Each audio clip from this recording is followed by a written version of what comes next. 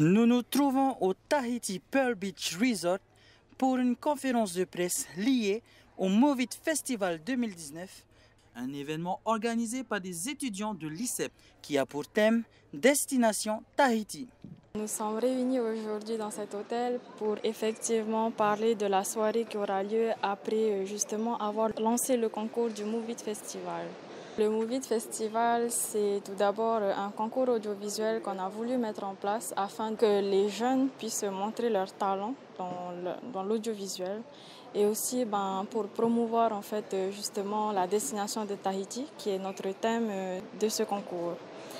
Et aujourd'hui, si nous sommes là, c'est plus particulièrement pour détailler euh, la soirée qui aura lieu le 12 avril 2019 au Tahiti Pearl Beach Resort. C'est une première édition. Nous avons 12 vidéos, donc 12 candidats ont pu participer à ce concours et pour moi, c'est pas mal. Pour la soirée, nous avons donc la soirée débute à 17h, donc à la salle Andéavour, euh, ici au Tahiti Pearl Beach Resort. Nous avons préparé des animations spéciales justement pour accueillir euh, le public. Il y aura notamment un shooting photo euh, au backdrop. On continuera avec une cérémonie d'ouverture avec donc des discours euh, avec notre parrain de l'événement qui est Moana Louis de Blackstone, le directeur de l'ICEP Guillaume Mariani. Nous avons aussi le privilège d'avoir Toria Colas donc de RTT et aussi le ministre du Tourisme. Il y aura également quatre intervenants qui vont parler de leur passion pour l'audiovisuel. On va également diffuser les 12 vidéos donc, des participants. Et pendant cette soirée, ben, plusieurs animations sont attendues, comme des spectacles de danse, un comedy show par Yepo.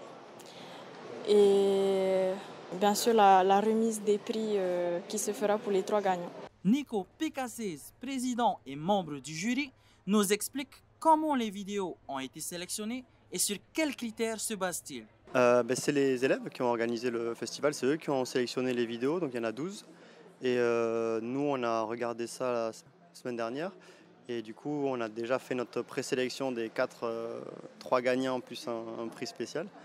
Et on va vraiment finir la sélection ben, le jour du, festival, vendredi. Alors moi, c'était vraiment le, côté professionnel. Il y avait des, pas mal de vidéos qui se ressemblaient un peu.